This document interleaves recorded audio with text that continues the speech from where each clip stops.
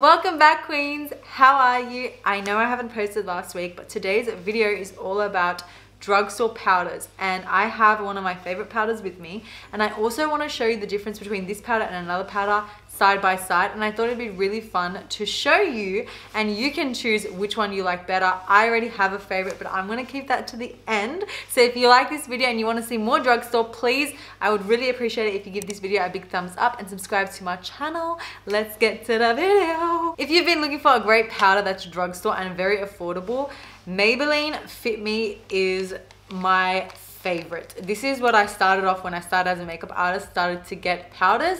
I definitely started with these two bad boys and I love them. I feel like they both come on very nicely.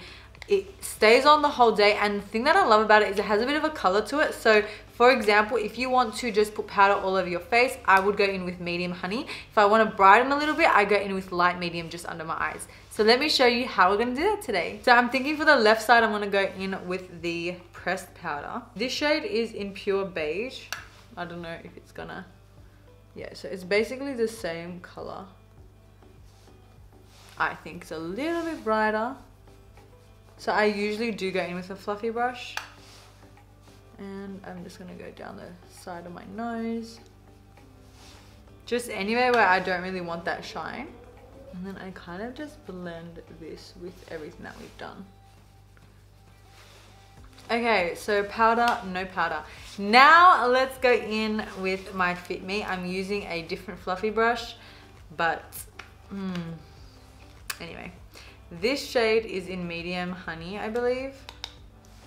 You don't need a lot and I love it that it comes in a compact like this. So even if you do want to take some out, it won't spill on you and then you can always put some on the back of the lid if you really want.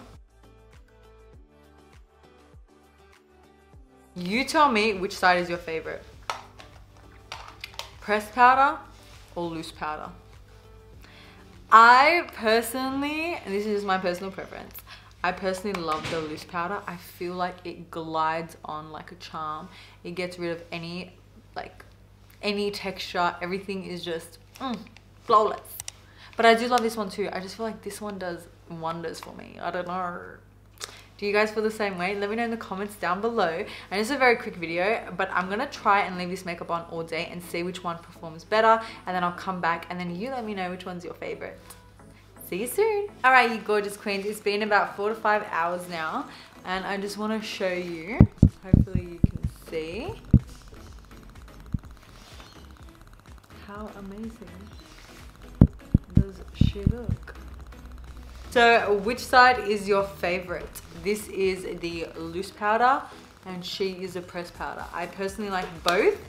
I do feel like this, well actually, hmm. I feel like this one didn't crease more under my eyes but I feel like the way this looks everywhere else is great. I don't know, I feel like it's just kind of a preference thing.